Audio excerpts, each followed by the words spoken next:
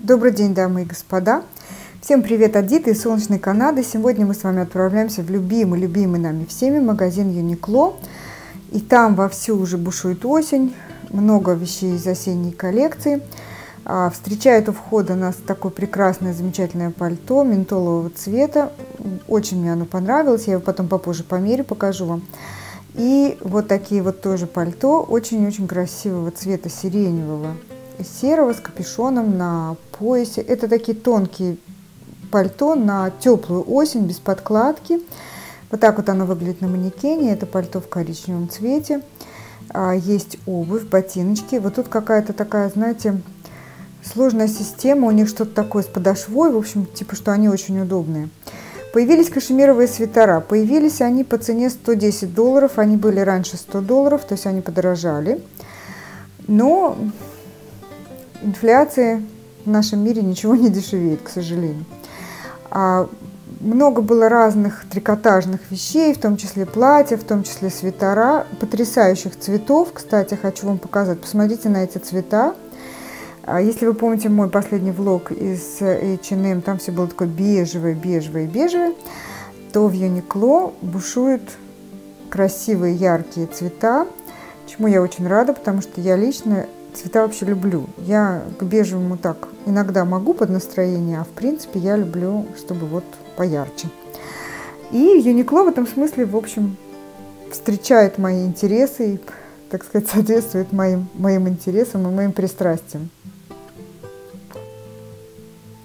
Да, свитеров было много, разных фасонов, разного состава, очень хорошего состава в основном – видите, вот это вот э, э, специальная шерсть Lamb Wool, это достаточно хорошего качества шерсть, и стоят они не очень дорого, они примерно по 40-50 по долларов все, ну вот кашемировые были по 110, а вот эти по 40-50 по 50 шерстяные свитера, э, что, в общем, я считаю, не очень дорого, вот это тоже 40 долларов свитер, это из э, шерсти мериноса, мерина вул у нас это называется. Насколько я понимаю, по-русски это шерсть мериноса, правильно?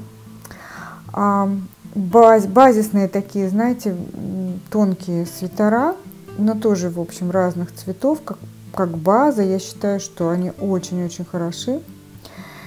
А, это, шер, это а, тоже шерстяные свитера, тоже, видите, разных эм, всевозможных цветов, более яркие есть, есть э, базовые, ну, в общем, на любой вкус. Это вот тоненькие такие э, turtleneck, turtleneck у нас это называется, то есть это а, свитер с горлом. Э, платья. Вот эти платья, кстати, были 100% катоновые.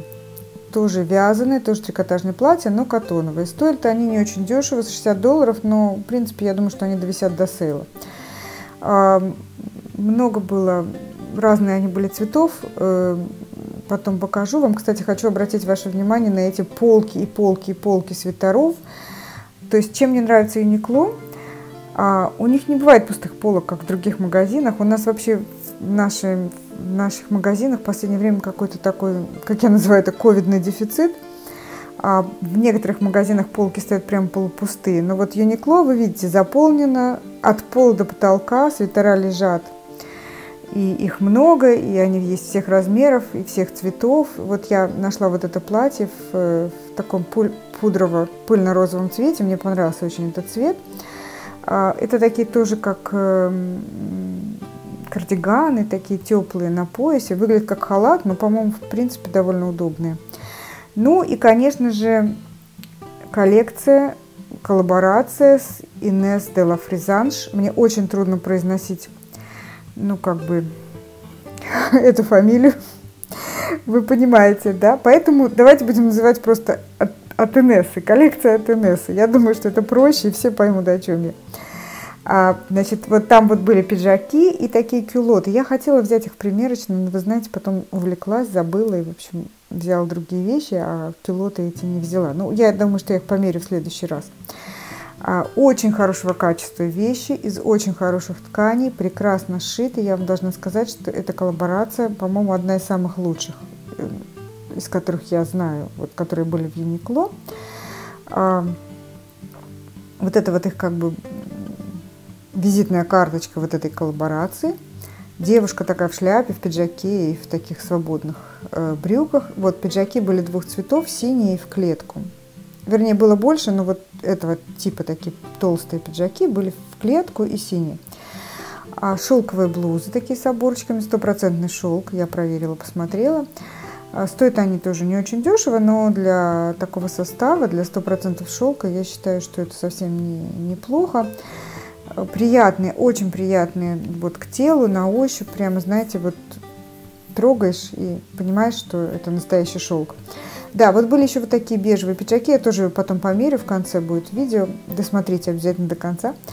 А, прекрасный шит, прекрасного качества ткань, а, прекрасный крой прекрасно сделан, хорошие такие строчки, знаете, видно, что это дорогая вещь, видно, что сделана она ну, не, не где-то китайцам на какой-то фабрике, а в общем такого, знаете, качественная вещь, вполне, я бы сказала, что достойна дизайнерского, дизайнерского магазина. А вот эти кардиганы были тоже в нескольких цветах. Вот это такой желто-горчичный красивый цвет. И вот еще один пиджак от Инессы, черный бархатный, тоже прекрасного кроя и очень хорошего качества. Пальто. Девочки, пальто от Инессы – это просто песня. Тоже померю вам это пальто в конце. Вообще несколько пальто померю. Значит, 70% э, шерсть и 30% не шерсть, не, не вижу что. Ну, в общем, очень хороший состав, стоит оно 200 долларов. Это немало, но для такого состава я считаю, что это и немного. А, было оно в двух цветах, вот того цвета, вот первый, что я показала, и вот это такая немножко другая клетка э, с, с синим и красным такой, знаете, вкраплением. Еще были вот такие. Вот пальто, значит, э, в нем немножко меньше шерсти, 58, по-моему, процентов.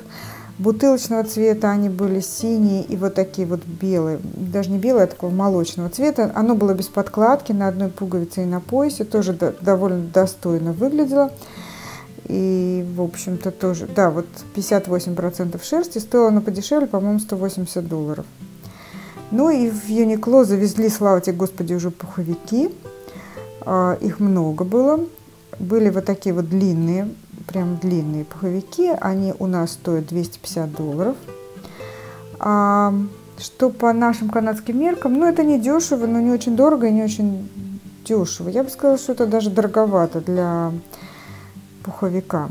А, но я пошла посмотрела состав наполнителя его, и, в общем, там пух-перо стопроцентное, то есть никакой синтетики, что для нас, в принципе, в Канаде важно, потому что когда холодно, то синтетический наполнитель, э, он, в общем-то, не очень-то греет. Вот смешно, да, долго увидела тренч, обрадовалась, такой базовый бежевый, бежевый тренч, долго его рассматривала, долго его снимала, увидела, что размер медиум, думаю, почему такой большой? Оказалось, что это мужской тренч. Ну, неважно, в общем. Да, в общем, вот такая вот куртка на меху, типа под кожу, а тоже от Инессы.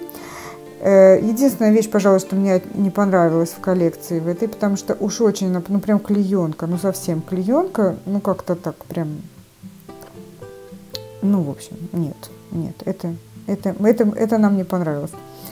Немножко вам сейла покажу, совсем-совсем большого сейла, 10 долларов юбки. Если вы помните, летом, когда я ходила, там делала ролики из Юникло, там тоже были вот эти вот юбки.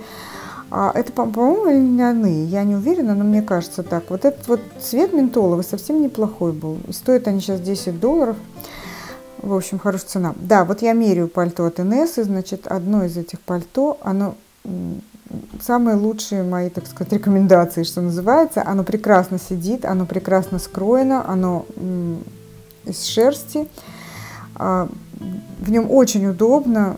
Знаете, ну вот действительно, одеваешь на себя, оно не очень не, не, не тяжелое, оно очень приятное, так сказать, вот в ощущениях. И действительно очень-очень красиво скроено и очень а, хорошо сидит. Понравилось мне, конечно, это пальто. И вот это зеленое пальто, которое без подкладки э, на поясе, такое немножко пальто-халат, тоже неплохое. Я вам должна сказать, что оно неплохо выглядит. Кстати, предыдущее пальто я померила размер medium, а это размер small. Вот это вот пальто, оно, так сказать, больше мерит. Оно довольно свободное, просторное. И еще одно пальто, это уже размер large. Я вам показала, их было два, две расцветки, вот это вторая расцветка. Не было медиума, я померила large, тоже ничего, знаете, в принципе, даже если представить себе, что его надо будет носить где-то на свитер, то, может быть, даже бы large я бы и подумала, что стоит ли мне взять, или медиум. Ну и, конечно, не могла я пройти мимо шляпы. Вот это та самая шляпа, которая изображена на их как бы рекламном э, проспекте вот этой коллаборации. Такая она немножко странная. Она вроде бы Федора, но с другой стороны у нее как-то загнуты кверху поля. Стоила она, по-моему, 35 долларов. Э, симпатичная шляпка такая, необычная. Ну и вот это вот пальто, которое в начале сам я вам показала, ментолового цвета, я решила его тоже померить. Это размер small неплохое, красивое пальто. Цвет очень красивый, просто, может, камера не передает, но цвет потрясающий. Сидит красиво. Да, в общем, неплохое пальто. В нем, конечно, состав не такой хороший, как в, в предыдущих, которые я мерила. В нем, не вижу, по-моему, есть немножко... Да, 33, по-моему, процента шерсти, все остальное полиэстер. Ну, в общем, неплохо. И вот этот пиджак, бежевый пиджак, который я померила а, не в примерочные. Очень подошел к моему аутфиту сегодняшнему. Прям как будто специально. Э, тоже достойный пиджак. В общем, рекомендую, девочки, если вам позволяют средства.